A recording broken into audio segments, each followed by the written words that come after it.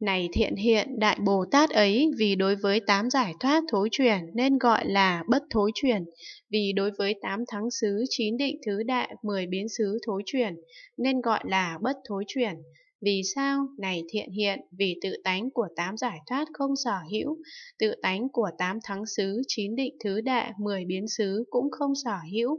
Đại Bồ Tát nào chẳng an trụ trong đó thì gọi là thối truyền này thiện hiện, Đại Bồ Tát ấy, vì đối với pháp môn giải thoát không thối chuyển, nên gọi là bất thối chuyển.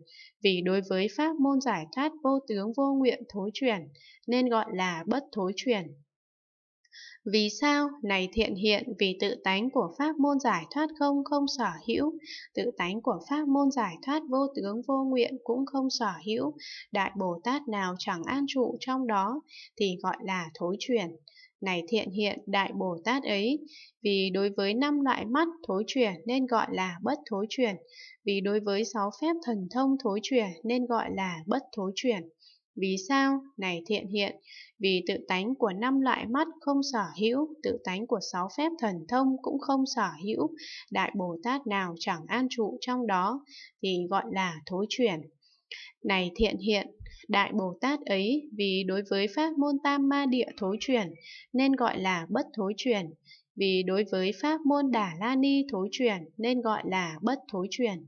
Vì sao? Này thiện hiện, vì tự tánh của pháp môn tam ma địa không sở hữu, tự tánh của pháp môn Đà La Ni cũng không sở hữu, Đại Bồ Tát nào chẳng an trụ trong đó thì gọi là thối chuyển.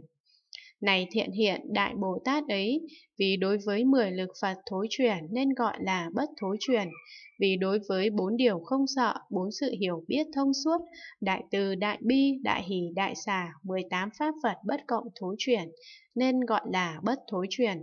Vì sao? Này thiện hiện, vì tự tánh của mười lực Phật không sở hữu, tự tánh của bốn điều không sợ cho đến 18 pháp Phật bất cộng cũng không sở hữu, Đại Bồ Tát nào chẳng an trụ trong đó thì gọi là thối truyền